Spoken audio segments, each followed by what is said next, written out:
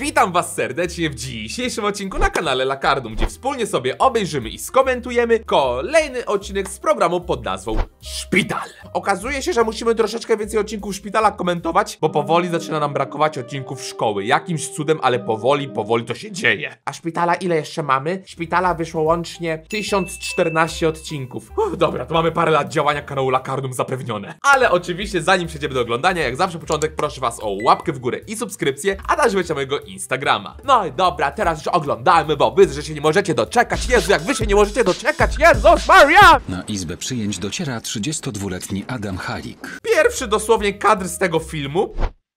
I muszę powiedzieć, że jestem zainteresowany. You had my curiosity, but now you have my attention. Podczas obiadu u babci narzeczona przez przypadek wylała na niego prawie całą wazę gorącej zupy, która dotkliwie go poparzyła. Mężczyzna odskoczył i upadł, uszkadzając sobie lewą rękę. Bo przecież ci cała skóra zejdzie.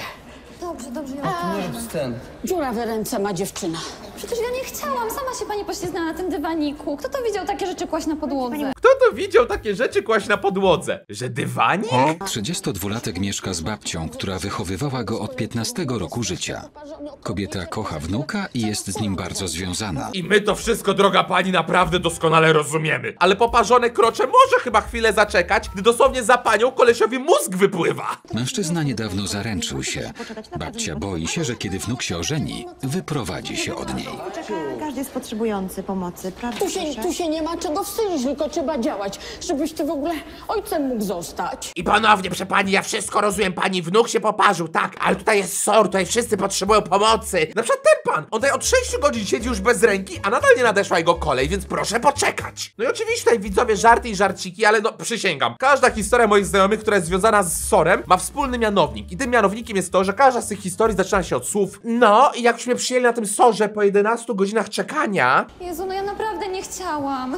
Będzie dobrze, zobaczysz, nie przejmuj się. A ty nie wiesz, że gorąca temperatura jest zabójcza dla jąder i dla plemników? Pana babcia ma rację z tymi sprawami, nie ma y, żartów. Proszę się zarejestrować. Czekaj, dziękuję.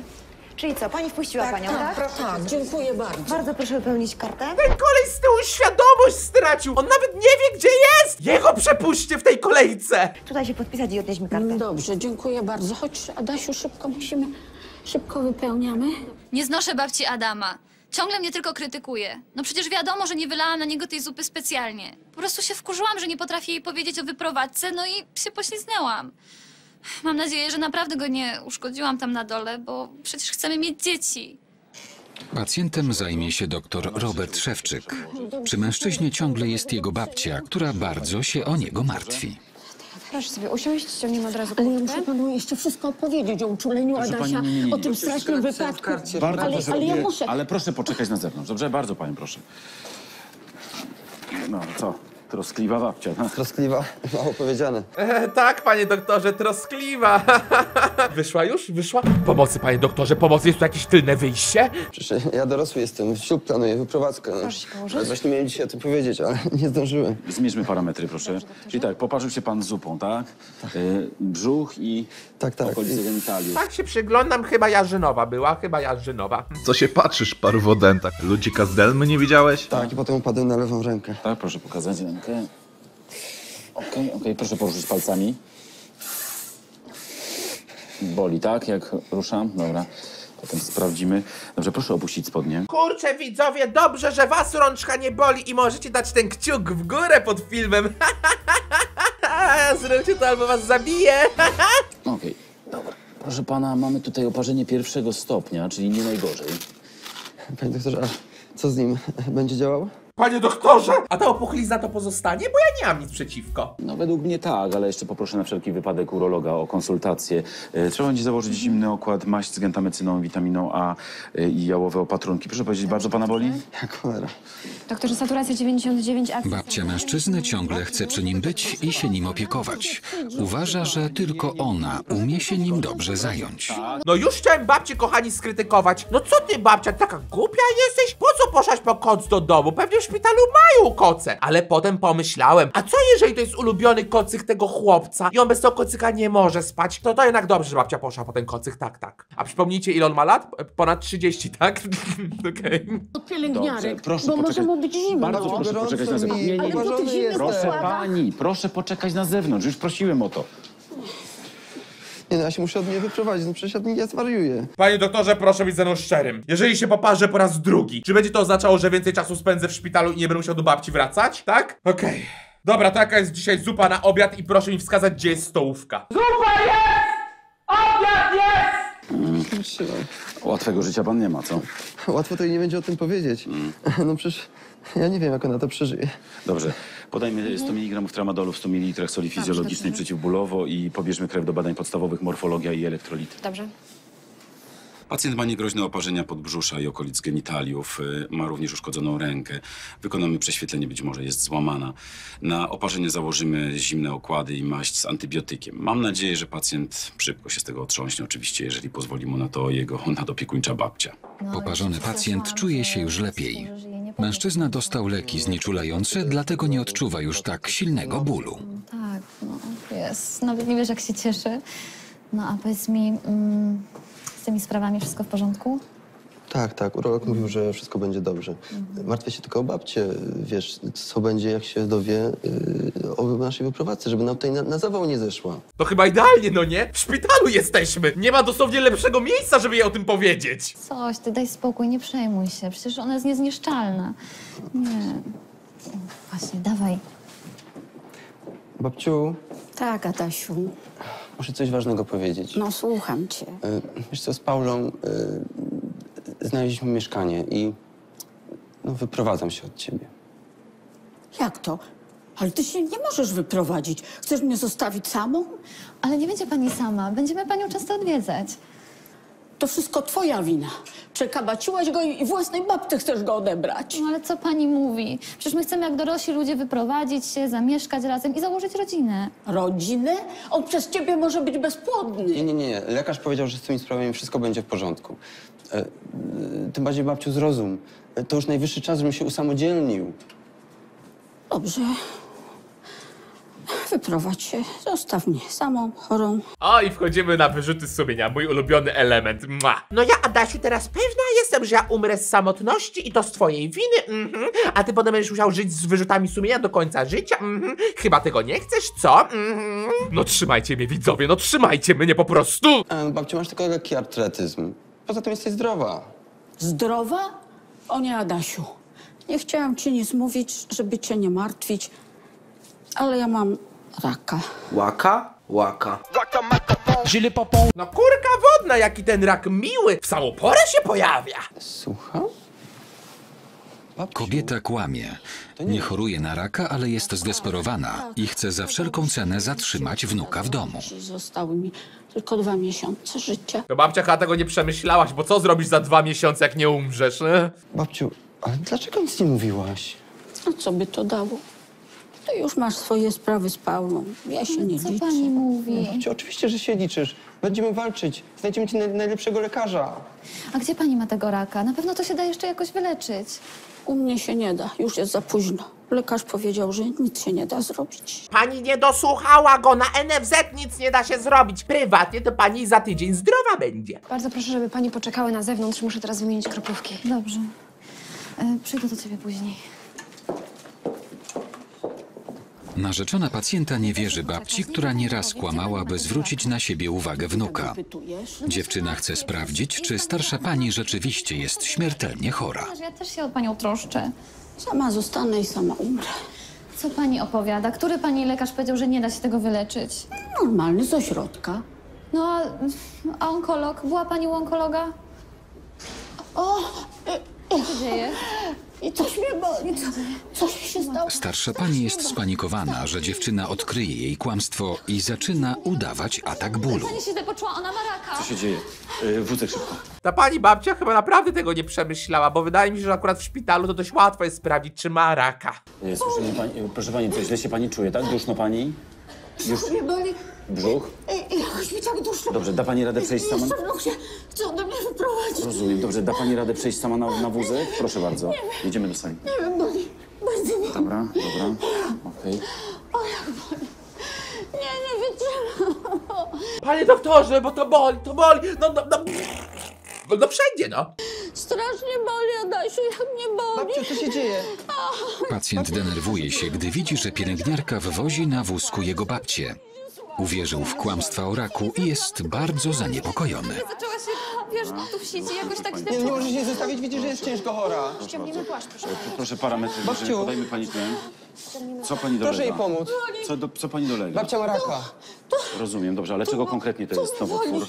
To, czego konkretnie to jest nowotwór, tak? Trzustki, Trzustki, tak? Proszę jej pomóc, doktorze. Wszędzie jest dobrze, już nic Już, się... już, nic pani się nie... zbada. Nie, nie, nie, nie Dobrze, to dobrze, już. strasznie boli. Okej, rozumiem. Nie. Dobrze, pomóc. dobrze, będę, poma pomagamy, proszę się, proszę, proszę się położyć. Panie doktorze, Boże, skoro ją tak boli, to nie wiem, od- odetnijmy ją od podtrzymywania życia czy coś. Podajmy dwie ampułki drotaweryny rozkurczowo w soli fizjologicznej i potem panią zbadamy. Panie doktorze, parametry w normie, akcja serca 70 na minutę, ciśnienie 120 na 80, saturacja 99.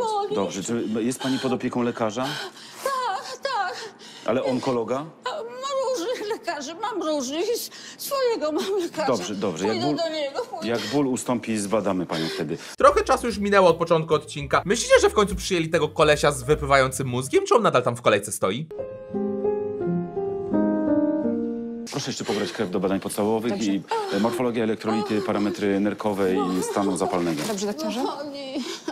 Doktorze. Proszę mnie odłączyć, proszę mnie odłączyć. Pacjent jest bardzo zdenerwowany. Kocha babcię i bardzo przejął się jej stanem. Ma zamiar od razu porozmawiać z doktorem Robertem Szewczykiem o jej chorobie. Chce zrobić wszystko, żeby ją ratować. Nie domyśla się, że babcia jest tak naprawdę zdrowa. Rak trzustki to jest jakaś masakra. Ale Adam, poczekaj chwilkę, może... y, Przecież ona tak nagle zaczęła z tym bólem, może to nie jest w ogóle nie. prawda. T- t- Rak to nie jest temat do żartów. I tutaj Adam się z tobą absolutnie w 100% zgadzam, ale najwyraźniej twoja babcia nie do końca. Ale ja nie żartuję, posłuchaj, tylko...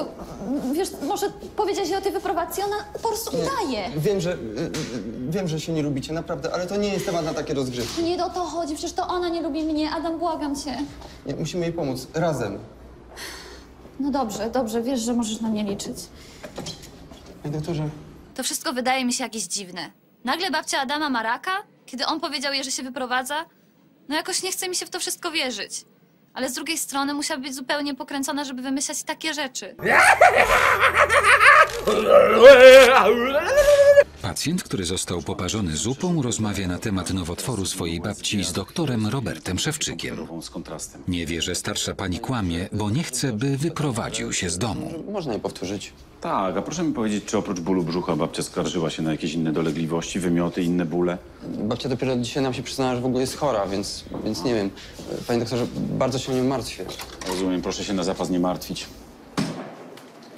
Po badaniach powiem panu więcej. Proszę przygotować aparat do USG, zbadam panią. Jak się czujesz, babciu? Nie boli? No najlepiej, no najlepiej. To powiedz, kiedy mnie już całkiem opuszczasz? Nie, babciu, nie zostawiam cię. Nie wyprowadzam się. Naprawdę? A to jednak babcia się trochę dla ciebie liczy. Kamil, spadł mi serce. O Jezus Maria! Czy ta babcia w ogóle ma pojęcie, ile lat terapii zapewnia właśnie temu chłopakowi? Babciu, oczywiście, że się Proszę liczysz. pana. Babciu, a pamiętasz może, y, jakie badania już robiłaś? Dużo robiłam, bardzo różne, ale nie chciałabym już przez to przechodzić drugi raz. Babciu, może Paula pojechałaby do domu i przywiozła badań, y, wyniki. Nie, nie, nie wiem, nie pamiętam, gdzie one leżą. O, o, Babciu, nie możesz się poddawać. Musimy walczyć. Starsza pani znów udaje atak bólu, bo nie chce być badana. Boi się, że lekarz odkryje, że nie jest chora. Tymczasem pielęgniarka zabiera wnuka kobiety na prześwietlenie ręki. o, nie, Co się dzieje? Nawet pani nie, nie dotknąłem. to się panu tylko tak wydaje. Dlaczego by mnie tak bolało? Mam wrażenie, że ten lekarz jest troszeczkę odporniejszy na bullshit, tak samo jak ja, niż ten jej wnuczek. I doskonale się domyślam, dlaczego ją zabolało. Dobrze, będę bardzo ostrożny, obiecuję.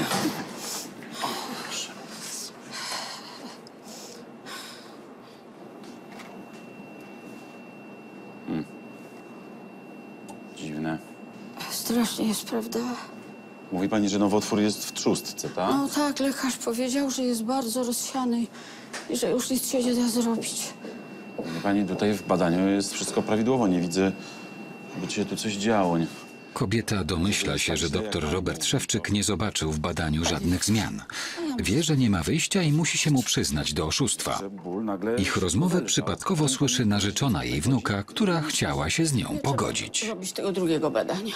Bo co, bo jest pani zdrowa, tak? No tak. No, okej. Ale ja To po co pani robi to przedstawienie? Przedstawi- Bo inaczej wnuk by mnie pani, w tym zostawił. czasie mogłem pomóc Błagam, komuś, niech kto tego mnie naprawdę pan przed nim potrzebuje. nie zdradzi. Ale co mnie obchodzą jacyś umierający pacjenci? Pan nie rozumie. Wnuczek chce się ode mnie wyprowadzić. On ma dopiero 32 lata. Proszę pani, to Błagam, jest proszę szokujące, co pani że wyprawia. mam tylko Proszę, dwa miesiące proszę opuścić życia. salę, proszę przygotować Nie, panią. Proszę, Proszę stąd mnie wyjść. nie zostawiać, doktorze. No i co ja teraz zrobić? To przechodzi ludzkie pojęcie, co wymyśliła ta kobieta. Oczywiście obowiązuje mnie tajemnica lekarska, ale powinienem natychmiast pójść do jej wnuka i powiedzieć mu o tym. Mam nadzieję, że kobieta zrozumie, co zrobiła i sama mu o tym powie. O, a z kolei pan doktor Szewczyk ma troszeczkę więcej wiary w ludzi ode mnie, jeżeli naprawdę sądzi, że ta babcia do czegokolwiek się przyzna z własnej woli. Wiedziałam. No po prostu wiedziałam, że babcia Adama ściemnia. Ale tym razem przegięła. Ja nigdy nie widziałam Adama tak przerażonego, jak wtedy, gdy usłyszał, że ona ma raka. No ale koniec z tym. Muszę mu o wszystkim powiedzieć i mam nadzieję, że tym razem przejrzy na oczy. Pacjent przeszedł prześwietlenie ręki, które wykazało pęknięcie kości promieniowej i został przeniesiony na salę obserwacji. rozmowę z lekarzem. Narzeczona chce mu jak najszybciej powiedzieć, że odkryła oszustwo babci. Po to, żeby cię zatrzymać w domu. Babciu, powiedz prawdę, jesteś chora? Pewnie, że jestem, nie widać. Przecież posłuchałam pani rozmowy z lekarzem. Sama pani powiedziała, że nie ma żadnego raka. Babciu, masz raka? Odpowiedz. Może mam, może nie, okaże się. What the fuck? Co to w ogóle za odpowiedź? E, może mam, może nie. Kogo to obchodzi? Daj spokój. Widocznie byłam u złych lekarzy. no ale jak to? No, masz albo nie masz? Adam, nie widzisz, że ona ściemnia? Zapytaj się lekarza. Panie doktorze, co się dzieje? Babcia ma tego raka czy nie? To nie powiedziała pani wnukowi prawdy? Aha, czy nie masz raka? Babciu, jak mogłaś kłamać na taki temat? Bardzo mi się podoba, co pan doktor tutaj zrobił. No bo hej, w teorii to nie złamał tajemnicy lekarskiej, no nie? A zaraz tam kłamać. Kłamać, to właśnie zrobiłaś. A, a ja, ja się o ciebie martwiłem. A jak mi się naprawdę coś stanie, a ty się wyprowadzisz i kto się wtedy mną zajmie? Babciu, jak nie przestaniesz odstawiać tych szopek, to wyprowadzę się od razu, jak stąd wyjdę. No najwyższy czas. Ale jak to zaraz? Nie możesz tak nagle.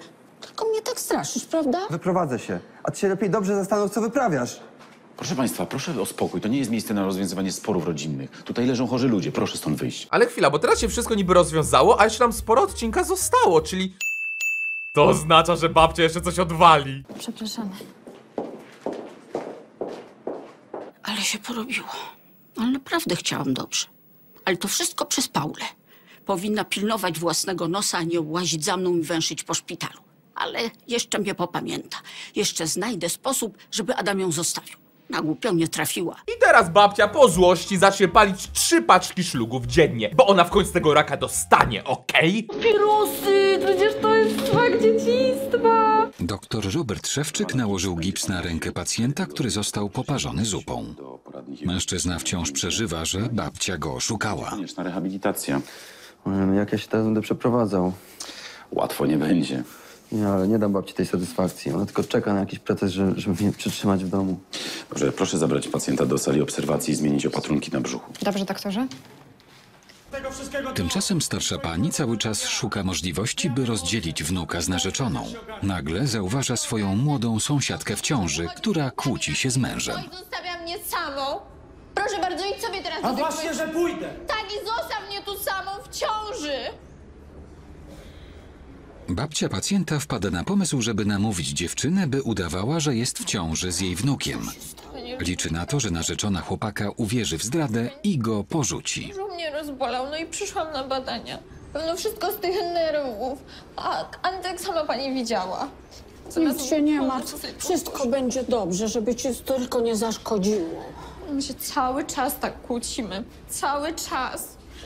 Nic się nie przejmuj. Młodzi jesteście, zniecierpliwił się, ale zobaczysz, wróci. Znam go. My się całą ciążę tak kłócimy. Całą. On już nie wytrzymał. Wow, to chcecie mi powiedzieć, że dziecko nie jest najlepszym sposobem na naprawę rozpadającego się związku? Mój Adam też chce się wyprowadzić. Znalazł sobie mieszkanie z tą całą Paulą. I na stare lata chce mnie zostawić samą jak palec. Naprawdę? A ta Paula to się w ogóle ludźmi nie przejmuje. Adam zasłużył na lepszą dziewczynę, na przykład taką jak ty. A może my sobie nawzajem pomożemy? Twój Antek bardzo mnie lubi, to ja pójdę do niego, porozmawiam z nim, spróbuję was jakoś pogodzić. Naprawdę zrobi to pani? Oczywiście, że zrobię. A w zamian ty troszeczkę poudajesz przed tą zmorą Paulą, że Adam się z tobą spotykał, że to jest jego dziecko. No najwyraźniej przegięciem dla tej babci nie jest wcale ani udawanie raka, ani wykorzystywanie dosłownie kobiety w ciąży. What the fuck? Chłopie, ty się lepiej od tej babci już dzisiaj wyprowadź. Ja się powiem na jaki pomysł jutro wpadnie. Ale jak to? Tak zwyczajnie, tylko na chwilę. Bo jak ona pomyśli, że ją zdradzał, to go zostawi. Ale ja nie wiem, czy ja tak potrafię. Nic nie musisz robić. Wystarczy, żebyś tylko przytakiwała. No dobrze, możemy spróbować, ale na pewno porozmawia pani z moim Antkiem. Na pewno jeszcze dziś. Chodź, poszukamy jej. Muszę wymienić opatrunki, także proszę tutaj. Babcia poparzonego pacjenta postanawia okłamać narzeczoną wnuka, że ten ją zdradził i będzie miał dziecko z inną. Jest przekonana, że wtedy kobieta go zostawi, a on zrezygnuje z przeprowadzki. To jest Ola. Adam się z nią spotykał, no i zdarzyło się. Co? Co to za jakieś brednie? O, nie mówił ci, bo było mu głupio. A ja z dobrego serca robiłam wszystko, żeby cię zniechęcić, żebyś nie musiała poznać tej przykrej prawdy. Co? No dobra, wcześniej to rzeczywiście był żart, ale teraz naprawdę, pani babciu, proszę założyć tą maskę. P- proszę ją założyć, serio. Ty, ty, ty jakieś bzdury. Przecież najpierw pani wymyśla jakieś historyjki z rakiem, nie wyszło, to teraz pani mi przyprowadza jakąś dziewczynę w ciąży? Niczego nie muszę wymyślać. Jest jak jest. A za dwa miesiące Ola urodzi Kubusia. Jakie dwa miesiące? Jakiego Kubusia? Przecież ja jestem z Adamem od roku. Nie spotykałaś się z Adamem, prawda? Tak, no niestety spotykałem się z Norbert... e, Adam. Adaś! Adam! Adam się nazywa, tak? E, Spotykałem się z Adamem, tak. Spotykaliśmy się. No, to jest siódmy miesiąc. No, Wstyd mi za Adama. Nie, ja w to nie wierzę. To, to jest nieprawda. Ja muszę, ja muszę to natychmiast wyjaśnić. Adam! Dziewczyna jest w szoku. Dziewczyna jest w szoku. Ja jestem w szoku. Dlaczego ty tej babci w ogóle uwierzyłaś? Nie może uwierzyć, że narzeczony ją zdradził. Później pani porozmawia, proszę wyjść. Wiem, że to babsko mogło znowu coś wymyślić. No ale co jeśli nie? Przecież ta dziewczyna wyraźnie powiedziała, że się z nim spotykała i będą mieć teraz dziecko. No i jak on mógł mnie tak oszukiwać? Ja zaraz oszaleję. Narzeczona poparzonego zupą pacjenta żąda od niego wyjaśnień. Babcia mężczyzny powiedziała jej, że wkrótce będzie miał on dziecko z inną i dziewczyna jej uwierzyła. Z dziewczyną i będziecie mieć dziecko. Z Olą? Dziecko? Tak, zdradzałeś mnie i teraz będziecie mieć dziecko. Co takiego? Tymczasem do młodej sąsiadki wraca jej mąż, aby ją przeprosić. Babcia pacjenta zauważa go i próbuje odciągnąć go na bok. Nie, co ty robisz? Co? Antek, Antek, sąsiadem? Ja chciałam pomóc pani Ludwice. Na pewno dla tego dziecka w brzusiu ten roller coaster emocji musi być bardzo zdrowy. Mm, Na pewno. I tutaj po raz kolejny babcia udowodniła, że naprawdę ma gdzieś zdrowie innych ludzi. Najpierw odciągając lekarza od innych pacjentów, teraz no dosłownie z... No... No, widzieliśmy tą scenę, nie muszę nic dodawać. To nie jest tak. Czyli to twoja wina. Ale ja chciałam dobrze. Dobrze? Chciałaś mnie rozdzielić z Paulą. No widzisz, Antek, wszystko się wyjaśniło, Kubuś jest To po cholerę twój. kręciłaś taką intrygę. Bo nas zostawiłeś, a pani Ludwika powiedziała, że nas pogodzi ze sobą. I nie pogodziła. Sorry za nos, a ty się do mnie nie zbliżaj, dopóki się nie ogarniesz. Antek, i po co ja się dam pani w to wszystko Przepraszam, Adasia, Nie, nie, nie, ja już cię nie słucham. ale ja chciałam tylko, żebyś mnie nie zostawiał. A może dla odmiany pomyślałabyś przez pięć minut o mnie? Przecież ty chciałaś mi rozwalić życie. Chodź już, spokojnie. Wiem, przesadziłam. Ale czy na pewno, pani Ludwiko, czy na pewno? Ja myślę, że w tym szpitalu jest jeszcze kilka osób, którym możemy zaszkodzić. No to śmiało, pani Ludwiko, śmiało. Ale naprawdę sądziłam, że jak się Adam wyprowadzi, to zupełnie o mnie zapomni. Całe życie tylko jego miałam. Jak sobie pomyślałam, że nagle zostanę sama, to nie mogłam sobie miejsca znaleźć. I faktycznie ani razu nie pomyślałam przy tym o nim. Straszna egoistka ze mnie wyszła. Tego samego dnia Adam Halik zostaje wypisany do domu z zaleceniem kontroli ortopedycznej za cztery tygodnie. się cieszę. Mężczyzna wraz z narzeczoną są bardzo szczęśliwi, że razem zamieszkają. Czekajcie, zaczekajcie. Mam dla was prezent na nowe mieszkanie. Niepotrzebnie. Chłopie, nie przyjmuj tego prezentu, tam będzie wąglik. Ja już wszystko przemyślałam i nie mam wam za złe, że się wyprowadzasz. Wiem, że mieli, mieliście prawo mieć do mnie jakieś pretensje. Koniec z durnymi pomysłami? Koniec, koniec. A to mam dla was na zgodę. Ło, pani Ludwiko, jaka piękna ramka z pani zdjęciem! Nawet wiem, gdzie ją postawię! Bardzo ładnie pani wyszła. Naprawdę? To żebyście o mnie nie zapomnieli. Naprawdę, pani Ludwiko, z taką ramką to o pani nikt nie zapomni. Nie zapomnimy, na pewno. A, no to kamień serca. To w takim razie może ja jutro do was wpadnę, y, y, ogarnę mieszkanie, ugotuję obiad. Babciu! Nie no, jasne, babciu, wpadaj jutro. Jak znajdziesz adres. Ale ja chciałam tylko pomóc. Poradzimy sobie. O, O, Z moją babcią to naprawdę można zwariować. Przecież za to, co tutaj dzisiaj wymyśliła, no to ja bym ją najchętniej udusił. Dogadał się z babcią. Tak po prostu? Może to ja gdzieś za bardzo w sobie chowam urazę, ale Adam. Adam! Babcia chciała ci związek rozwalić, come on! Ale kto wie, może ta Jarzynowa, która na początku odcinka się wylała na spodnie, może jest tak przepyszna, że warto babci wybaczyć, no kto wie. No ale kocham ją. Jest moją jedyną rodziną. Nie potrafię sobie wyobrazić, żebym się mógł od niej odciąć. No, ale na pewno będę musiał wytyczyć jasne granice, żeby nam na głowę znowu nie weszło. No dobrze, kochani, dziękuję wam serdecznie za oglądanie dzisiejszego odcinka na kanale Lakardum. Oczywiście, jak zawsze, koniec proszę was o łapkę w górę i subskrypcję, a także wiecie mojego Instagrama i również zostawcie swoją opinię w sekcji komentarzy dotyczącą dzisiejszego odcinka. No i tam wiecie, jak macie jakieś kolejne odcinki do polecenia, to wysyłajcie mi wiadomości prywatnej na Instagramie. No ja wiem, powinienem odcinek już kończyć i już kończę, tak już się żegnam i w ogóle, ale teraz się zastanawiam, czy, czy naprawdę aż tak warta była tego ta Jarzynowa? To ona była aż tak dobra. Dobra, widzimy się w kolejnym odcinku za dwa dni o godzinie 16. Do zobaczenia.